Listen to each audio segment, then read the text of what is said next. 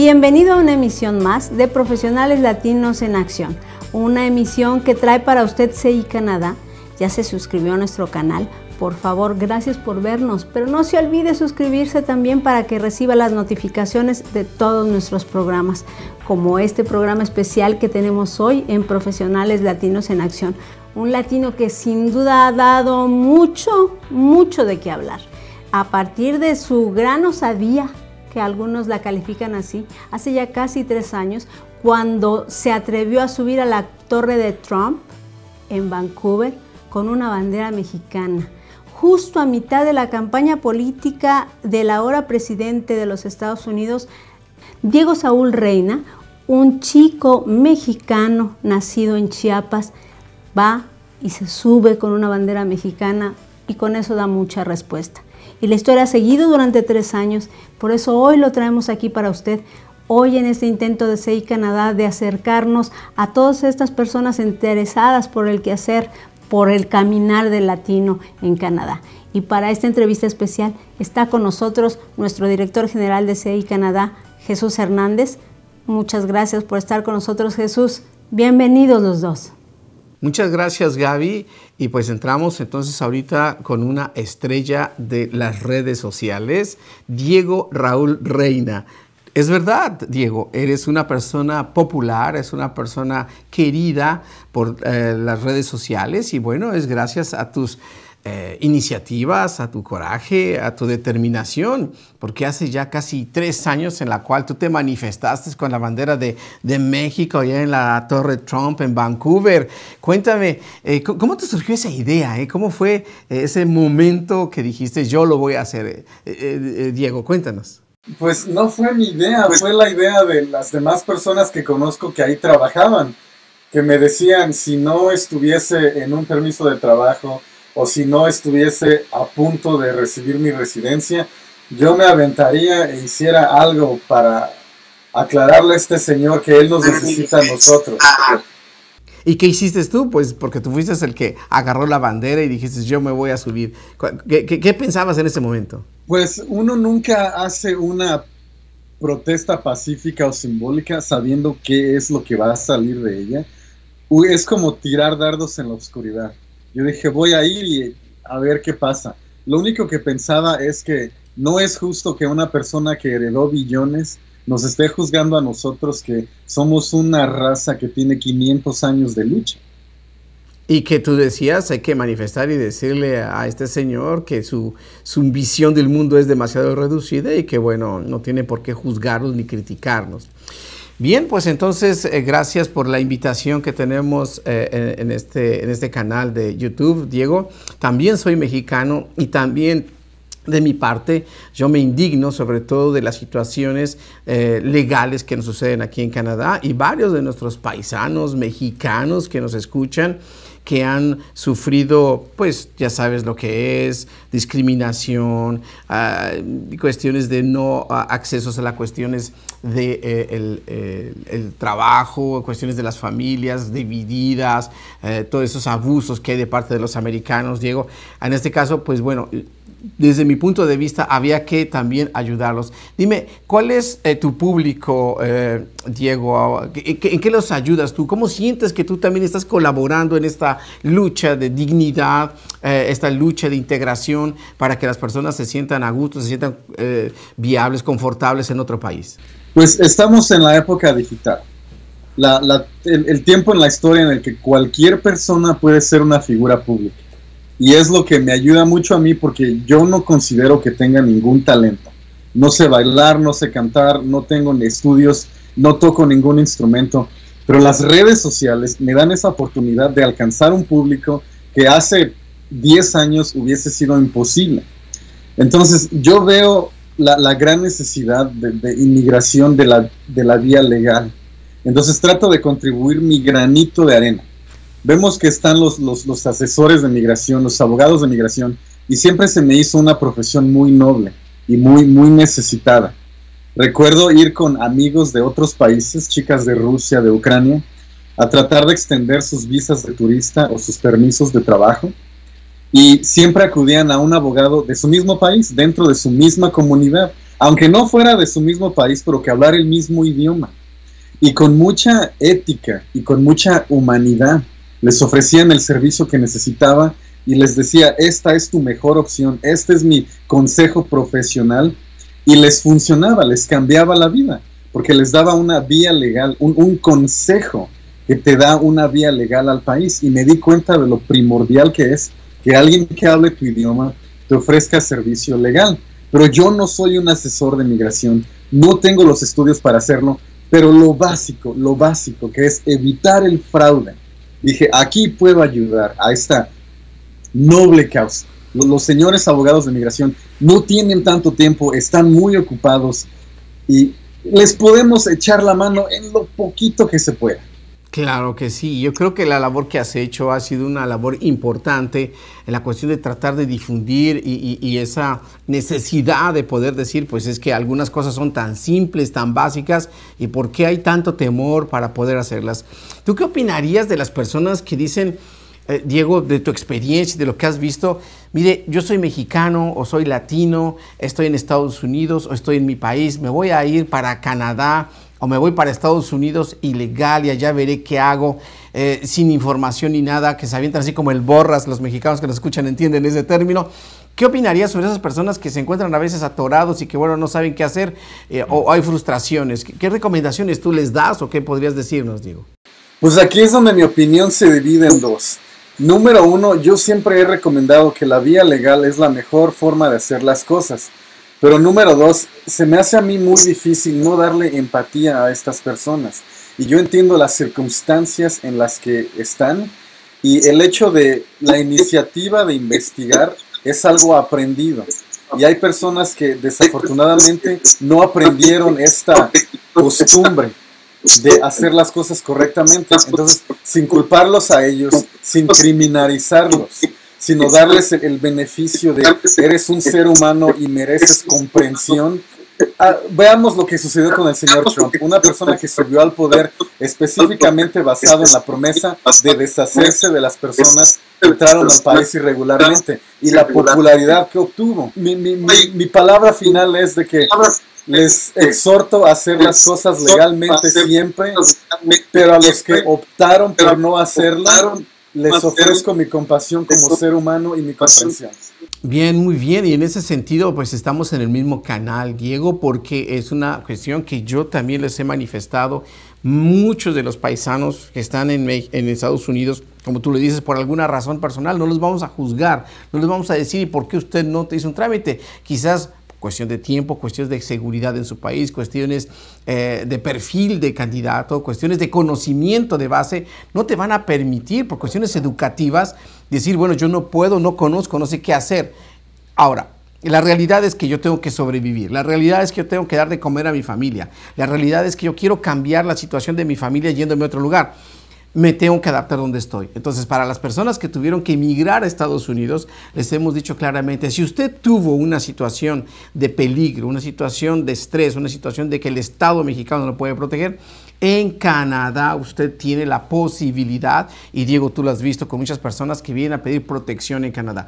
Obvio que la cuestión de protección en Canadá no es la, el remedio milagroso, ¿verdad? No es la receta ganadora, por eso es importante que de mi lado yo también los exhorto, si usted tiene una opción más acá, usted tiene la opción que eh, puede pedir protección en Canadá, pero tiene algo más. En Canadá. Existe algo que no existe en Estados Unidos, es una consideración humanitaria, un Humanitarian Compassion Ground. Es decir, que en Canadá usted puede, si se integró, pagó impuestos, tiene eh, un trabajo, hizo una empresa, a pesar de eh, contra mm, viento y marea, usted salió adelante con la familia, mismo en Canadá, tú sabes, Diego, que uno puede salir de la irregularidad, de la ilegalidad acá y decirle, Señor, yo aquí estoy. Entonces, esa parte, como, como Diego lo manifiesta, yo estoy de acuerdo con él, pues si una situación se vivió así, ahora trate de informarse, pero antes de, eh, de llegar a Canadá, pregunte cómo, porque Tú sabes, Diego, que el gobierno a la vez tiene una doble, doble cara. Por un lado dice, sí, sí, aquí te protegemos, te ayudamos, como lo dijo el ministro Trudeau en enero del año pasado, pero después le jalaron las orejas y sí, sí lo puedes decir, pero, pero mejor diles que lo hagan de manera tranquila y que no se vengan todos. Y enviaron a nuestro diputado Pablo a decir a la comunidad salvadoreña, no, no, en el Canadá, eh, mejor ustedes hagan aplicaciones legales. Obvio, pero volvemos al mismo punto, volvemos al círculo vicioso. Si yo no tengo el perfil, si no sé, pues entonces en sí el gobierno no va a darle una recomendación. Él solamente va a evitar que a lo mejor se sobrecargue el sistema. Pero en sí, legalmente, un servidor, consultor certificado en inmigración desde hace más de 23 años, yo trabajo constantemente con las personas y que les digo, es tu derecho, ejerce tu derecho, infórmate correctamente y vas a cambiar la vida de eh, tu familia porque hay personas que han vivido durante años de manera ilegal en Estados Unidos o que están en los países en América Latina y quieren entrar acá, pues infórmate para que puedas ver los pros y contras. Olvídate ya esa mentalidad que hay de que pues ya me voy vieja y ahí te mando a llamar vieja a ver si ya estoy aquí en Canadá. No, es de cuestión de ver la posibilidad de que venga, de que yo pueda venirme, de que me informe antes y no es cuestión de que ya atravesé y ya me vine. Diego, me ha pasado muchas personas que piensan como todavía en Estados Unidos ya atravesé y ya voy a trabajar punto final. No, llegan a Canadá, ya atravesé y punto final. No, porque tarde o temprano la realidad te va a atrapar. Mientras no tengas un documento legal, mientras no tengas un permiso de trabajo, no tengas algo válido, pues la, verdad es que vas a estar atorado todavía y no vas a poder ser libre ni feliz ni nada. Y precisamente es lo que tenemos que buscar, la igualdad. Y este país, Diego, no sé cómo lo veas tú, Canadá, como un país igualitario, como un país de oportunidades. Cuéntanos tu experiencia, Diego, como trabajador. Tú trabajas en la construcción. Cuéntame tu, tu, visión que ahora estás viviendo. A mí Canadá se me hace una sociedad muy excelente. Muy excelente. Mi primer idioma, mi apariencia, mi grupo étnico nunca han jugado un papel en mi progreso laboral. Ah, recuerdo haber estado en Vancouver cuando hubo una pequeña recesión en el 2008 y empezaron a despedir personas del sitio de la construcción y empezaron a, mantener, a dejar solo a los más productivos. Y recuerdo que había personas que medían dos metros, rubios, ojos azules, y a ellos los despidieron y a mí no. En mi experiencia en Canadá, mi exposición al racismo ha sido casi nula. Nunca nadie me ha hecho sentirme mal por quién soy, por de dónde vengo. Y en mi opinión, al menos en la industria de la construcción, existe oportunidad igualitaria para todos. Aunque seas residente permanente, te convertiste en ciudadano, no naciste en Canadá, inglés no es tu primer idioma, tienes una oportunidad de competir justa contra el que aquí nació, en mi opinión y en mi experiencia. Diego, y comparto lo mismo, yo estoy aquí en la costa este de, Canadá, tú has estado en la costa oeste, en Vancouver, ahorita estás en Calgary, si no me equivoco, y eh, en este momento yo estoy aquí. Y también es la misma impresión. Lo único que se tiene que hacer es tener su dignidad fuerte, enfrentarse a cualquier persona, porque aquí tú vales lo mismo. No hay con la discriminación que eres latino y que ya te estoy viendo mal. Aquí te puedes defender y explicar. Pero ¿cómo te vas a defender si no dominas bien el idioma? la primera clave para poder lograr el éxito en todos lados es el idioma. Aprende el idioma, concéntrate en perfeccionarte, sea tu inglés o tu francés, y yo creería que no tendrás ningún problema. Bueno, y mismo legalmente, aunque no tengas ni inglés ni francés, vas a valer lo mismo, ¿verdad? Solamente que son tus habilidades para el trabajo, tus habilidades para integrarte, lo que va a ayudar. Pero también una cosa importante, Diego, y tú lo has vivido, aquí es un país más reglamentado más cuadrado. No hay mucha cuestión que hay margen para, para poder hacer cosas como en Estados Unidos, porque aquí el sistema de salud es gratuito no como en Estados Unidos. El sistema de desempleo también te ayuda a tener un apoyos financieros. Hay redes que te van a apoyar a ti y eso implica tener un estatuto. Y eso, eh, ¿cómo nos dirías? ¿Qué problemas detectas tú cuando una persona ya entró y quiere buscar trabajo y que lo importante es trabajar? ¿Tú qué recomendaciones darías a las personas que nos encuentran escuchando el día de hoy, que dicen, yo quiero estar allá, quiero trabajar, eh, quiero aprender, quiero estar eh, eh, integrado? Diego, te escuchamos. Pues simplemente no pues, se fijen de aquí a un mes o seis meses Fíjense de aquí a cinco años. Existen los conocidos trabajos de supervivencia mientras haces válida tu educación. Y nada es vergonzoso, todos empezamos desde abajo. Tenemos que tomar en cuenta que vamos a progresar. Esto es una escalera. Y lo que siempre digo en mi canal, el 90% de los canadienses te van a recibir con los brazos abiertos siempre y cuando vengas legalmente y aprendas el idioma. Aunque tengas un acento, tener un acento es algo muy bonito. Imagínense a una chica con un acento francés o portugués, es algo muy bonito. Pero si la gente no te entiende, eso ya no es un acento, ya es una barrera de la comunicación. Entonces, mientras aprendas el idioma y, vengas aquí legalmente, adelante, todo es posible. E, efectivamente, y la cuestión legal, eh, gracias a la, sinergia que existe con Diego y nuestra empresa, tratamos también en YouTube de dar consejos, de dar información, de decirles cómo puedes entrar legal, de decirles cuáles son tus derechos, mismo si, si en Inmigración Canadá no te van a dar un consejo, puedes llamarnos, estamos de tu lado, nosotros estamos reglamentados por el gobierno de inmigración para poder dar un consejo de manera privada. Además, tienes la opción de, si haces un programa, estamos reglamentados también por el gobierno de de Quebec para poderlo hacer y poder darte una eh, opción adicional. Varios de los chinos que tú conociste, Diego, que están allá, hicieron el programa de Quebec. ¿Por qué lo hicieron el programa de Quebec? Precisamente porque es una vía que puede facilitar. No estamos diciendo que, que algunos eh, no van a vivir o, tengan que quedarse a vivir aquí en Quebec. No, mi trabajo es ayudarles a que puedan tener algunas opciones legales, pero en el fondo la inmigración, Diego, se está llegando al punto de que hay que tener la capacidad financiera y lingüística, porque casi todos los programas ahorita son que te vengas aquí como estudiante, después trabajador. Por eso es que las personas que sufren en su país y que están indignados por la situación de la inseguridad y que han tenido problemas, es una opción que es válida, es legal, solamente que la, comisión de refugio a veces es muy cuadrada, es muy estricta y a no todos los va a recibir y aunque tengan sus pruebas que es verdad lo que les pasa, es que no es de verdad o mentir, es cuestión de credibilidad y la credibilidad de las preguntas que yo lo haga y a veces se contradicen y esas contradicciones costaron caras para la familia. Entonces hay que saber bien cómo aplicar los programas, sea de una cuestión eh, de, programa de trabajador calificado, sea un programa de estudiante internacional, sea un programa de oferta de empleo, sea un programa de protección en Canadá, sea un programa de consideración humanitaria, sea un programa que también se le llama de sponsor, que también trabaja cuando usted tiene una pareja acá, eh, eh, y también la cuestión de, a lo mejor en algún momento ofrece realizar a lo mejor un proyecto de inversión o realizar un proyecto de una empresa. Entonces, hay programas, obvio que hay requisitos, obvio que ese es un excelente país, como Diego lo dice, pero hay que tener las reglas aquí claras y por eso es un trabajo que también nosotros hacemos y, con la motivación que Diego presenta, pues es algo que realmente yo creo que eh, hacemos un bien a la comunidad lo más transparente que se pueda y, planteando la realidad, porque cuéntame Diego de la realidad que las personas te preguntan y te, te dicen la, cuestión de, de, lo que más te preguntan a ti Diego, ¿cuáles son las preguntas frecuentes que las personas te preguntan en tu canal? Pues la pues, mitad de todos los mensajes es ¿qué ocupo para ir a Canadá? O, oye, me interesa ir a trabajar a Canadá, ¿cómo le hago? Y eso nos muestra la, el poco conocimiento que hay sobre las fundaciones básicas de un país. Entonces, trato de decirles, mira, aquí no es como en Estados Unidos que hay 60 millones de hispanos que hablan español 11 millones de personas irregularmente.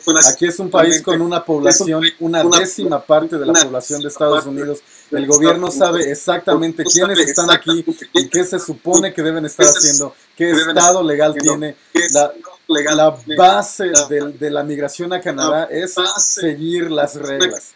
Y nosotros como hispanos esto es algo muy nuevo, porque si, tú ves nuestra cultura es de que si se nos poncha la llanta, ponle un parchecito, si se te descompone esto, ponle un clavito, que este documento me salió mal, ponle un borroncito. Y aquí es una cultura que es todo por regla por regla. Y hay ese, ese choque cultural un poco. La nueva generación de hispanos y mexicanos ya son un poco más apegados a la internet y a buscar información y conforme esta generación crezca y tengan a sus hijos posiblemente va a llegar un momento en el que la, sociedad latina va a tener esa iniciativa de investigarse y de, de asegurarse de que conozcan todos los aspectos de un país y sus reglas antes de, decidir quiero mudarme a ese país. Aquí la, eh, correctamente sería el proceso. tengo interés en el país, leo sus reglas, visito su sitio oficial de migración de, Internet y ahí decido si este país es para mí y ya pregunto. Pero ellos están al revés. Primero pregunto, primero decido y ya después leo las reglas y es ahí donde los estafadores entran. Te acabas de tocar un punto muy importante, Diego, porque la necesidad de las personas es tan grande de llegar y trabajar en Canadá que acaba de pasar en Ontario. No sé si supiste que hubo unos mexicanos que estuvieron secuestrados en Ontario y, estas 34 personas que estuvieron ahí fue porque eran, decían, hay un sitio que me ofrecen trabajo, soy mexicano, llego allá, hago la limpieza, no hay problema, lo voy a hacer. Pero les engañaron legalmente, les tomaron su dinero y no solo el que para venirse, sino el dinero de su trabajo del día a día. Llegué a entender que les pagaban hasta 50 dólares el mes por trabajar. ¿Por qué? Porque los, como que los raptaron, les quitaban su pasaporte, no los dejaban hablar. Lo que acabas de decir tú, no tenían la más mínima información. Como no tenían la información, precisamente fueron víctimas de este tipo de, eh, eh, eh, de, personas. Perdón, no, fueron fueron 43 personas las que fueron detenidas aquí. Y bueno, esto hace que sean, sean, sean víctimas de las personas que estafadores que hay. Por eso es que efectivamente Diego tiene una buena sugerencia. Infórmese en las fuentes, vaya al sitio del gobierno, obvio que ahí el gobierno, eh, hay tantos programas que a lo mejor no va a ser tan fácil de decir, bueno, ¿y qué hago yo ahora? ¿no? En este caso, como dice digo, busque ahora quién le pueda usted orientar ya profundice y haga una estrategia. Es que la estrategia será realmente venirme como estudiante, es que la estrategia será venirme como turista y después de eso, ¿qué voy a hacer? Ya con los medios de comunicación ahora usted no necesita estar aquí en persona para que alguien le explique. Ya existe el internet, existen las cosas de videoconferencia. Usted puede tener una asesoría de manera general. Obvio que usted tiene que confiar en quién eh, confiar solamente en personas que son, como dice, abogados o consultores certificados por parte del gobierno. De ahí en fuera, cualquier otra persona que le quiera ayudar, que un instituto educativo, que yo te voy a decir, pues usted vende educación, más no visas. Bueno, yo soy agente de turismo y yo te puedo decir, no, pues usted es eh, agente de viajes, más no de visas. Entonces hay que diferenciar entre la necesidad de un eh, visitar o estudiar con la necesidad de un permiso de trabajo de residencia. Ahí ya entonces, eh, como un servidor, hacemos la valoración legal en donde la ley al día de hoy le permite esto o esto o lo otro.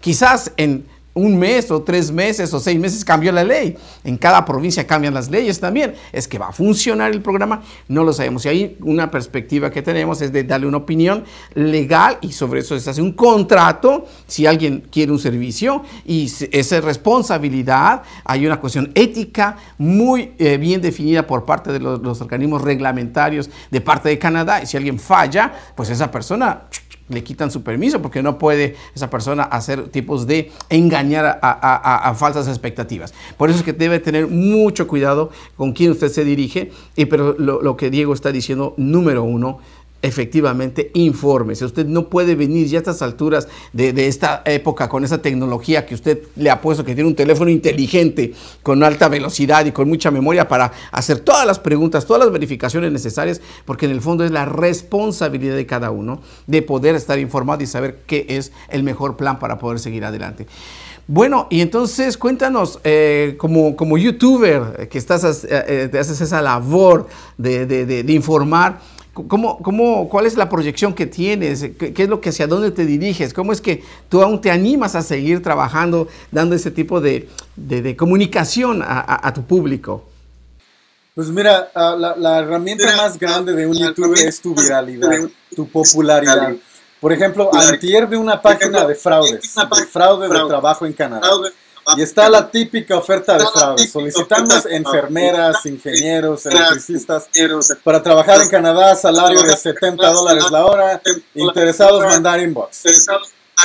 Y vi que esa página en 24 horas, esa publicación fue compartida 17 mil veces. Y yo me puse a pensar, bueno, ¿quién tiene la el poder de hacer una publicación que sea compartida 17 mil veces en, en 24 horas. Si vemos a los youtubers más grandes, solamente ellos.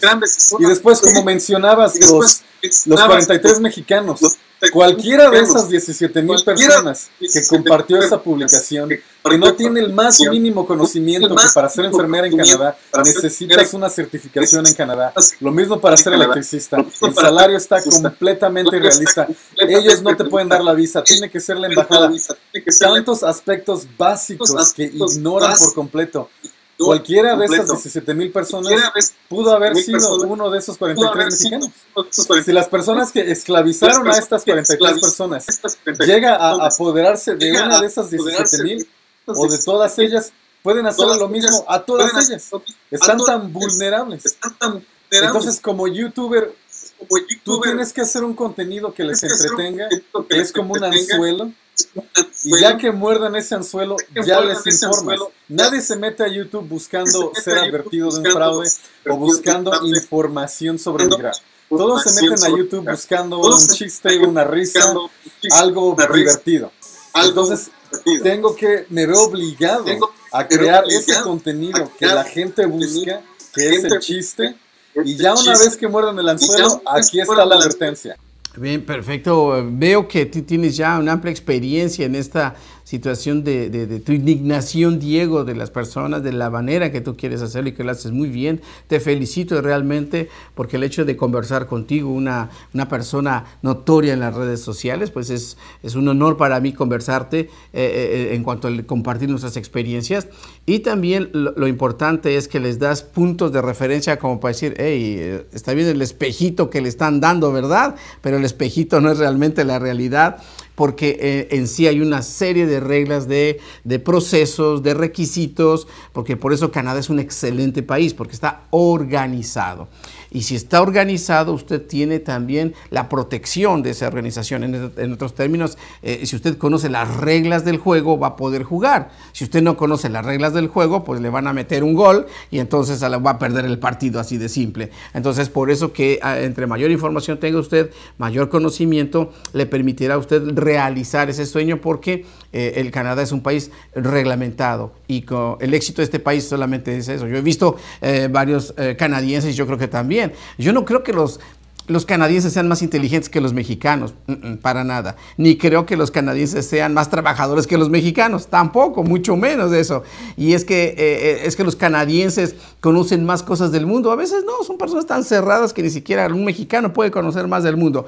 Conclusión, no es una cuestión, eh, digamos, de raza, sino es de conocimiento. Y si usted tiene el conocimiento, usted puede estar abajo, en la mediana o arriba de los canadienses, porque el derecho aquí se lo va a permitir. No va a ser por su lengua, por su imagen, por su red. No, no. Es por defenderme, por mis, mis conceptos y porque me apego a la ley. Y si la ley me apego, es la gran ventaja de este país, que eh, desgraciadamente eh, en otros países de América Latina las leyes no son muy, muy equitables para todo el mundo. Y segundo, como Estados Unidos, pues no hay una manera que las personas puedan salir de ese eh, torbellino. Y en Canadá sí lo podrían hacer, pero nuevamente, como Diego lo dice, hay que informarse, hay que tener claridad en todo esto.